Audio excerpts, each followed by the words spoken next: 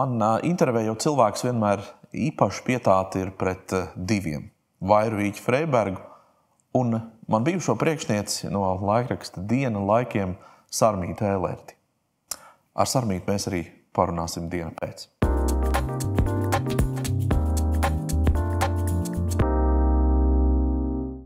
Sarmīt, liels prieks, ka atradi laiku paviesoties dienu pēc studijā, Baltijas studijā. Um, ikdiena uh, paiet prezidenta pilī tagad, vai Jā, ne? Tas taisnība. ir tas galvenais uh, uzdevums. Un ko nozīmē būt nu, tā kā, uh, vadīt visus padomniekus? Uh, ko tas nozīmē? Viņi ir kaut kā īpaši jāvada. Nē, nu, t- tomēr ir nu, kaut vai jāplāno, kas ir tas svarīgākais, kas katram tur būtu jādara. Jāplāno prezidenta darba kārtība. Nu, arī vienkārši jāspēj, jāspēj saprast, kas ir svarīgi un kas nav svarīgi. Prioritātes tātad. Jā, bet kā mēs zinām, saprast, kas ir un kas nav svarīgi, arī ir žurnālists darbs. Tā kā es pieņemu, ka man ir ļoti noderējis tas, ko es esmu darījis agrāk. Jā, tātad galvenās redaktoras pieredze laikrakstā diena. Un nu jā, šīs dienas kārtības faktiski atlasīšana, savā ziņā droši vien veidošana, jo diena bija populāra tieši ar to, ka tā veidoja dienas kārtību ļoti daudzos gadījumos. Jā, es domāju, ka tas arī bija uh, preses, tā laika preses, kas arī, es teiktu, tajā laikā uh, bija uh, Latvijas ietekmīgākais mēdījis, domāju, diena. Uh, tas arī bija tas uzdevums, kā uh, izvēlēties un teikt mūsu prātu, šis ir tas svarīgais, pievērsiet uzmanību. Mēs par to domājam, to un to. Jūs varat domāt citādi, bet jūs varat samērot ar mums mūsu viedokli. Un, uh, man šķiet, ka tāpēc arī uh, diena tik, tik augstu novērtēta un, un lasīta.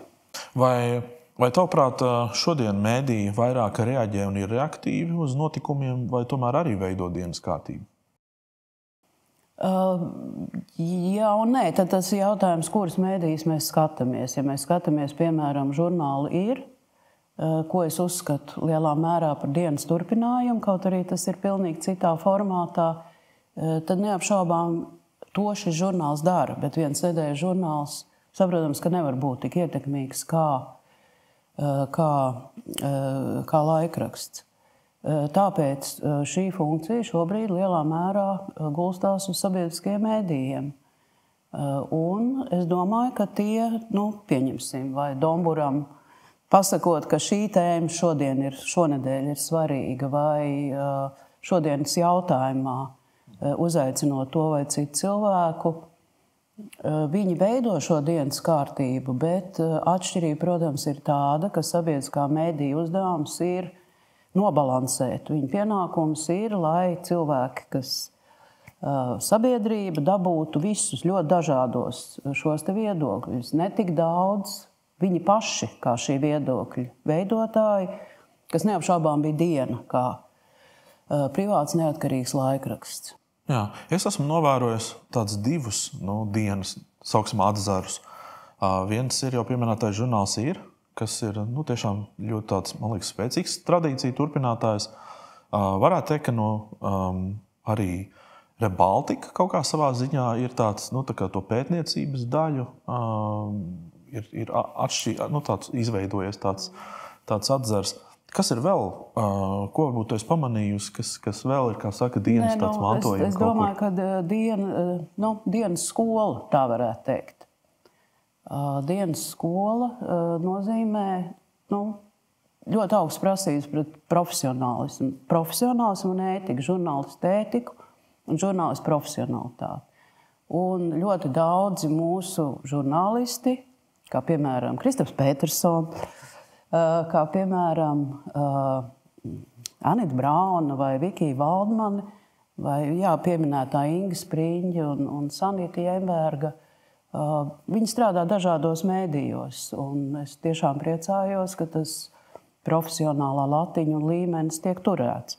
Nu, otrs, tāds, uh, otrs virziens, kā mēs gatavojām kadrus, ir īpaši 90. gados, bija ārlietu ministrija.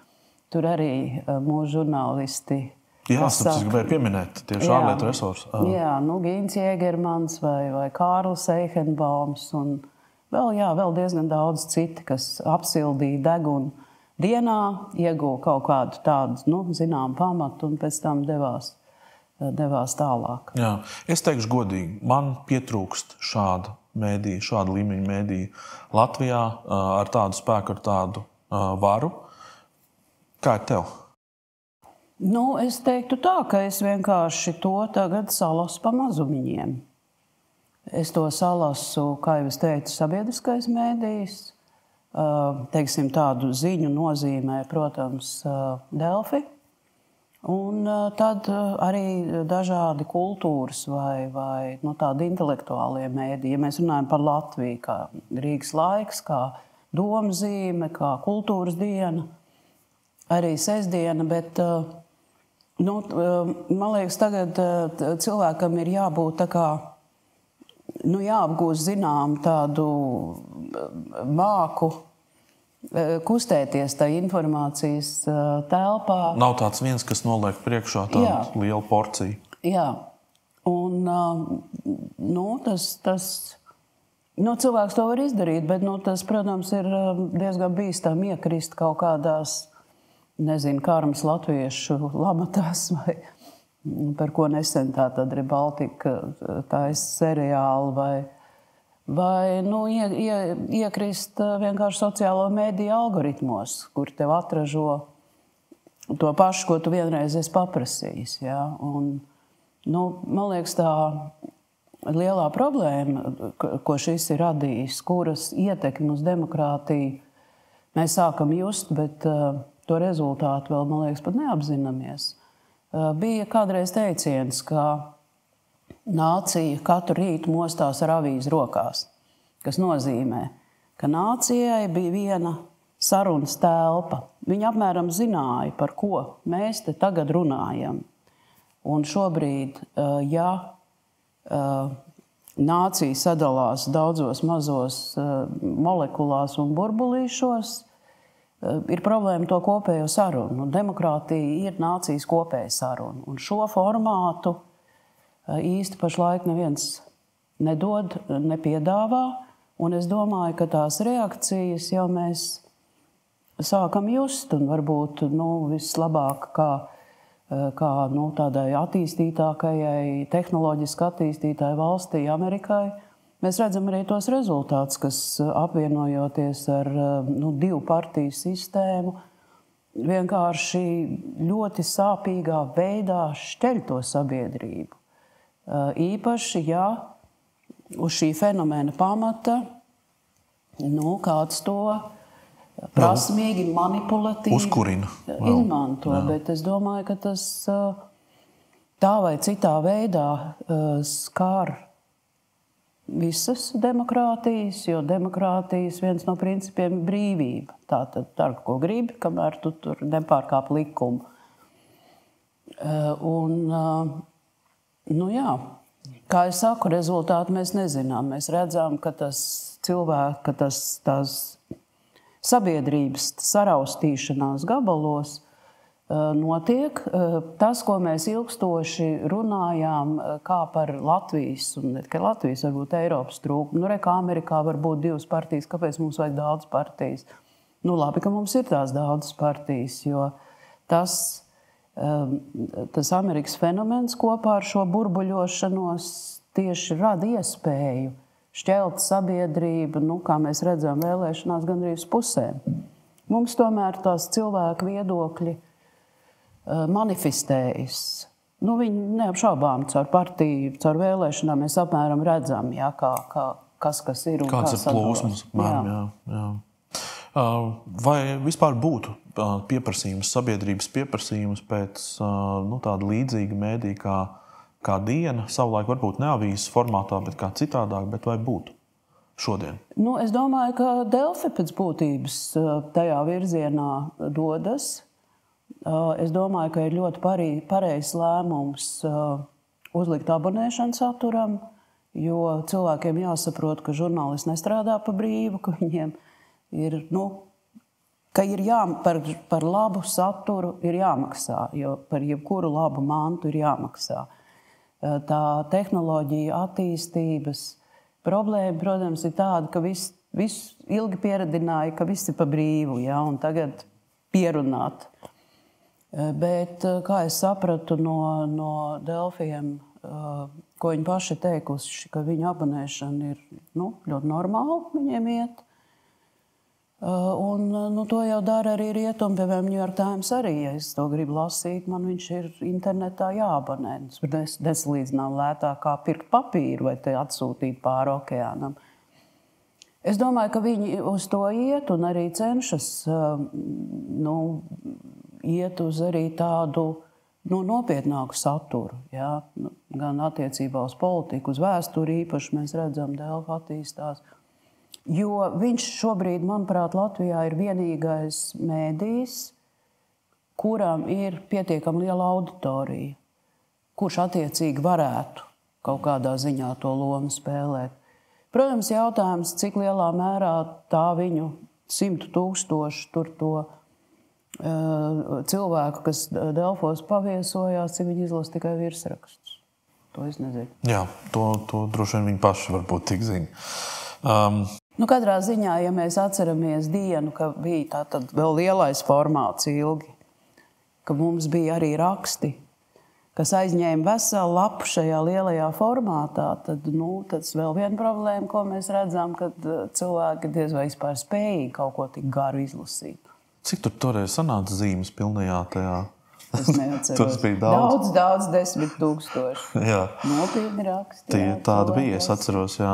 Um, Labi, es pāriesim pie cita temata, bet vēl es tomēr gribu mazliet uzdot uh, pārējai tādam tiltiņam. Um, bieži vien Latvijā pie visām problēmām uh, tiek nosaukts Sorosa vārds, ka Soros ir tas, kurš ir vainīgs pie visa. Un, uh, un, un to arī tiek minēts kā galvenais Soros cilvēks Latvijā. Man vienkārši interesē, cik reizes vispār tu esi satikusi Džordžu Soros? Nu tā, un, un par ko jūs, par ko jūs esat runājuši? Nē, nu tad, kad es biju Soros fonda valdes priekšsēdētāja, bija nu, nu ne jau katru gadu, bet reiz pa reizēm bija šo fondu vadītāju sanāksmes. To, tur tika runāts par to, ko, mēs, ko katrs nacionālais fonds dara. Jo nacionālajie fondi jau bija ļoti patstāvīgi. Mēs paši noteicām, kas ir tie virzieni ļoti ilglaicīgi Eh, virziens Latvijā bija skolotāja, skolotāja izglītošanas, eh, grāmatu tulkošanas un publikācijas, nu, nevalstiskā sektora, eh, sektora atbalsts. Es domāju, ka tas,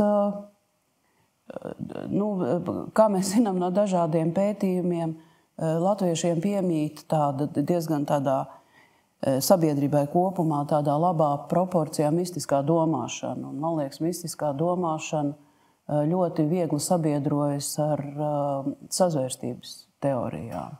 Nu, ja kādam vajag, nu, piemēram, Lembergam, ja viņam vajag izskaidrot visas pasaules nelaimes, kas sagāzušās uz viņa galvas, nu, tad labi to nosaukt vienā vārdā Jā. Viņš kaut, to ilgu laiku darīs. Kaut gan es esmu ievērojis, ka ar vien retāk un retāk piesauc. Tagad ir kaut kāda cita vainīga. Nu, iespējams, ka nelaime tāpēc neatlaižās. tāpēc nu, tiek meklēta jauda. Jā. Saras fonds, starp citu, ir ļoti daudz labu darījis gan mediju vidē, gan arī kultūras vidē. Um, kāds šobrīd teiksim, es, piemēram, man šķiet, liekas, Latvijā tas kultūras piedāvājums ar katru gadu paliek ar vien tāds intensīvāks un krāšņāks. Un, un, un, un tā, ka nevar pat paspēt visu nu, aptvert un, Jā. un izbaudīt. Kādreiz tas tā nebija, vai ne? Es, es, ja bez kaut ko, nu, es domāju, nu, ja skatās tādā laika posmā no 90. Vēl, vēl starp citu, turpinot, tātad Soros fonda mantinieks Latvijā ir fonds dots.lv. Un viņi eh, dara visādas lietas, bet viņi dara vienu ļoti vērtīgu lietu. Tas ir katru gadu cēsīs lampa.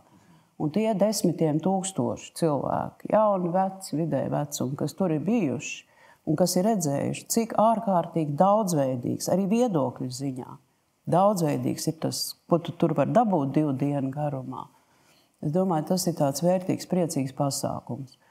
Eh, par kultūras piedāvājumu, jā, un es domāju, ka zināmā mērā to var saistīt ar to, ka kultūra kapitāla fonds eh, tomēr ir audzējis, nu, valsts ir audzējusi kultūra kapitāla fonda līdzekļus, kas arī ir palīdzējis tām ļoti daudzveidīgajām aktivitātēm attīstīties.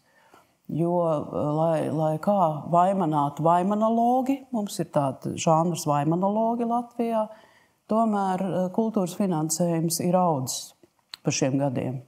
Tā atšķirība varbūt ir, ka Latvijā ir ļoti nabadzīgi mākslinieki, normāli pelnoši un ļoti bagāti mākslinieki. Un, nu, tur tā, tā, tas atbalsts vienkārši arī ir jāsabalansē. Un tas pats kā sabiedrībā diezgan līdzīgi. Tāpat kā sabiedrībā, jā. Un, nu, es domāju, mums ir arī labas un stipras mākslas augstskolas. Nu, tad tas birums, birums arī ir.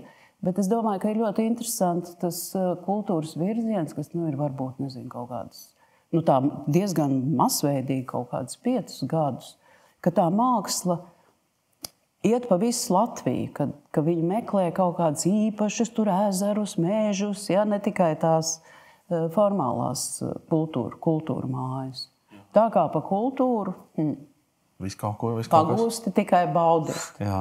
Daudzi sūdzās par to, ka uh, maz Latvijā laikmetīgās mākslas ienāk, ka mēs esam diezgan tradicionāli no tādas kultūra politikas viedokļa raugoties. Uh, Kā, kāds izskatās, ir, ir, ir kaut kas? Nu, pirmkārt, es domāju, ka tas, ko eh, nu, ja mēs pasakojam, tas, kas notiek Latvijā, es domāju, ka tas ir normāli konkurējoši salīdzinot ar jebko citu. Eh, protams, eh, tad tas ir jautājums par laikmetīgās mākslas muzeju, kura nav.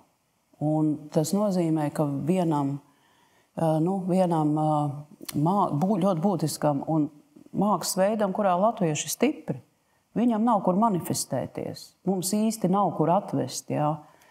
Un tāpēc eh, šī te, eh, nu, tāds iedēstītais auglis Riboka, kur bija, nu, mēs nezinām, vai viņi turpināsies. Un, eh, protams, jautājums par to naudu, kas to finansē. Bet tad, tajā pirmajā Ribokā, es atceros, viņa atveda no, no visas pasaules, viņa atveda desmitiem kuratoru. Tas muzejs ir vajadzīgs arī tāpēc, lai šeit būtu kuratori, lai tie kuratori ieraudzītu to latviešu mākslu. Jo nu, citādi diezgan grūti ir, ir izlausties līdz vīzes celmiņas līmenim vai, vai Raimonda, nu, Amerikas, slavena Amerikas latviešu mākslinieki, kas ir ieguvuši tādu pasaules slavu, slavu Raimonda Staprāns vīzes celmiņu. Jā.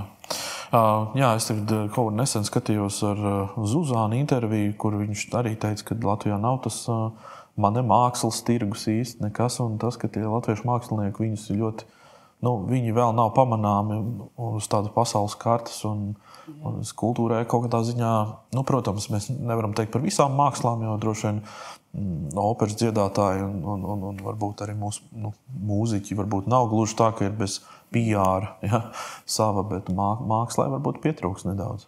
Nē, tā tas ir. Un uh, nevar teikt, nu, ja būs laba māksla, pat aizies pasaulē. Tajā ir jāieliek liela pūliņa. Liela pūliņa ir ielikt, piemēram, mūzikas skolas maziem bērniem. Tātad, uh, Par to jau ir satraucās, vai būs, vai, būs, vai tas turpināsies. Mūzika, mūzikas augstskola, un lūk, mēs redzam rezultātu. Tad vēl Andrēs Žagars, kas uzstājas nu, tādu pasaules klases operu. Piemēram, literatūra. Es nezinu, vai cilvēki ir ievērojuši, bet ļoti mērķiecīgais eh, darbs, piemēram, eh, Frankfurtas grāmatu mesē vai, piemēram, Londonā, ja, kur bija tas interventais latvietis. Tas, ka kultūras ministrija radījusi speciālu programmu tagad tulkojumu finansēšanai. Un, ja mēs paskatāmies, cik daudz latviešu literatūras, gan próza, gan arī dzēja ir tulkota. Prieks skatīties. Tas ir tas veids, ja bez šī grūdiena un atbalsta.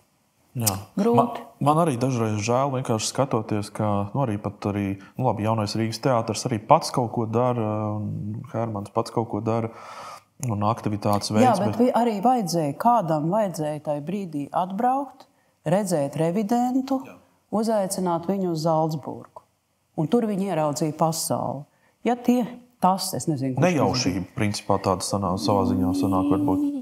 Es īsti nezinu, kas, ka, nu, kā uzzināja par šo izrādi. Bet, ja nebūtu atbraukuši, nu, būtu brīnišķīgi izrādi. Mēs te visi priecātos. Hermans pārsēdētu Latvijā, bet nē, viņš redz Laskalā, Zaldzburgā, Milānā.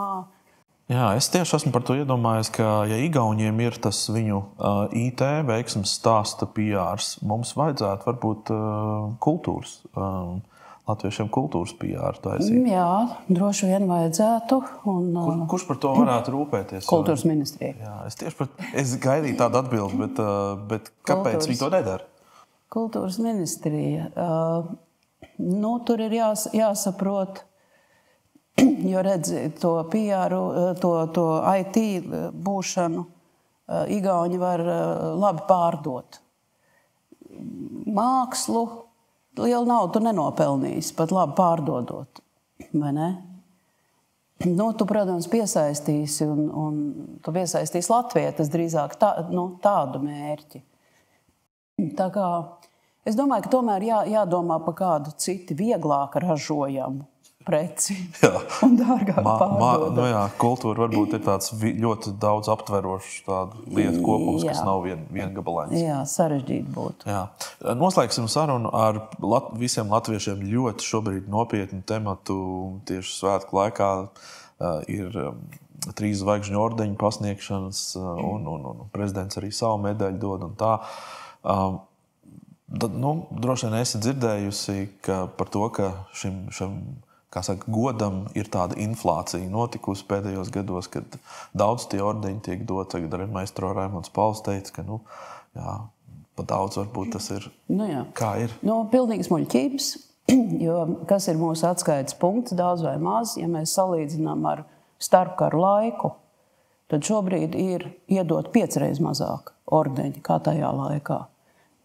Ko tas nozīmē? Es domāju, tas nozīmē to, ka varbūt tajā laikā kaut kā cilvēki labāk apzinājās, ka gan viņi paši, gan cilvēki viņiem blakus ir vērtīgi. Jo, ja tu domā, ka es pats, jo, lai novērtētu citus, ka viņi ir vērtīgi, man pirmkārt pašam jāapzinās, es esmu vērtīgs, kāds es esmu, vienalga, kas es esmu. Ja? Man šķiet, ka pirmkārt nevajag pārvērtēt šo burkšķēšanu par ordeņiem, jo mēs dzirdam tikai skaļākās balsis. Es nedomāju, ka latvieši kā tauta ir skaudīgi, ja? bet nu, dažiem varbūt skauži. Tā kā ordeņi netiek doti par daudz, eh, katru reizi kapituls tiešām ļoti, ļoti nopietni izvērtē eh, visus to, šos eh, kandidātus. Un tas, ka cilvēki tomēr novērtē savus līdzgaitniekus, rāda mums nu, tā, tā, tie iesūtītie pamatojumi. Jo kapituls jau nepazīst visus tos cilvēkus. Ja? Viņi nepazīst, piemēram, nezinu, veterināru ārstu laukos vai skolotāju kādā kurzemes pilsētā. Bet mēs lasām, mēs skatāmies, un tie argumenti, kāpēc tie cilvēki ir pelnījuši, pelnījuši šos ordeņus, ir nu, tiešām ļoti pamatoti. Mm -hmm. Ja kā, nu, kapitula, kapitula skatās caurskatīt šos um, arī iesniegumus, uh, kas ir tādi varbūt kritēriji vai kritērijs, varbūt tāds viens zelta kritērijs, kas tur ir. Tas, ka, tas, ka šis cilvēks ir ne tikai labi darījis savu darbu, kas arī ir ļoti svarīgi, bet ka ir bijis kaut kāds ļoti nozīmīgs ieguldījums nu, sabiedrības kopējā labumā, kas var būt caur šo darbu, bet kur, nu, ja īpaši nāk vēl kaut kas būtisks klāt. Nu, piemēram, ja tas ir piemēram viens darbs, vai tomēr tam ir jābūt darbam ilgākā laika periodā, jā. vai tomēr tas var būt kaut kas arī ļoti spilgts atsevišķs, bet eh, nu, tas parastais, krita, protams, ir ilgākais, ilgāks darba periods. Uh, da, to arī es esmu pamanījis. Daudz ir pamanījuši, ka žurnālistiem pēdējā laikā diezgan daudz tiek dots. Un, protams, tas tiek automātiski saistīts ar tavu vārdu, jo nu, kad, kad no žurnālistu vidas un tā. Nu, žurnāli, nu, iespējams, ka, mēs, ka šis kapituls vienkārši uh, ar atvērtākām acīm skatās uz to ļoti nozīmīgo darbu, ko dara Eh, žurnālisti, jo man liekas, ar, žurn ar žurnālistiem ir tā, ka, ja viņi labi dara savu darbu, nu, tad tas ir normāli. Ja viņi kļūdās, tad to gan viss ir redzams. Ja? Tāpēc man liekas, žurnālisti ļoti reti uzslavē. Jā, tā ir. Un tas ir Biežāk labi. kritizē. Jā, mums vajag arī žurnālistus paslavēt šeit, un tādi, kā saka, lai, lai viņiem ir motivācija turpināt. Es tas domāju, ka tas, tas piemēram, šajā te eh, apbalvošanas reizē tur ir eh, grupa nevalstisko organizāciju, valsts pārstāvju eh, un arī žurnālisti, eh, kuri ir apbalvoti saistībā ar karu Ukrajinā.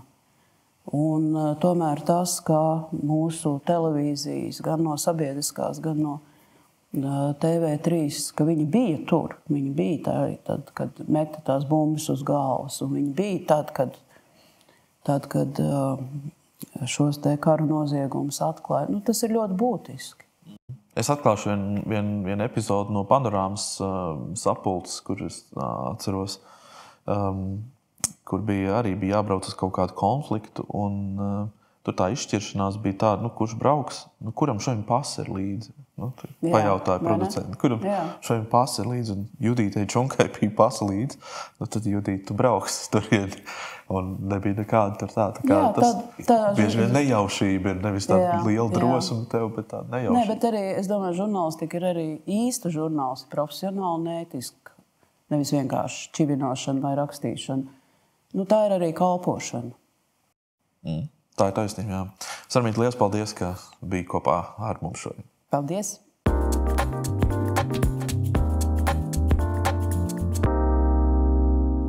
Visu Latvijas kultūru eksportēt, tas būtu pārāk sarežģīti. Ja man kādreiz likās, ka tas ir iespējams, um, sarunā Sarmīna man pārliecināja, ka jā, kultūra Latvijā ir ļoti daudzšķautņaina un varbūt ne gluži tāda viengabalaina, lai to varētu ņemt un eksportēt kā tādu labu, skaistu pieredzes stāstu, uh, kā Igauni to dara ar IT uh, sektoru. Bet, ja mēs tā paraugāmies kopumā, um, man ir cerība par to, ka Latvijā varētu veidoties um, mēdījis, kas uh, varētu mazināt sabiedrības polarizāciju un um, varbūt arī ieņemt kādreiz to leģendāro vietu, ko savulaik ieņēma laikraksts diena. Uz to mēs visi cerēsim. Un paldies, ka skatījāties!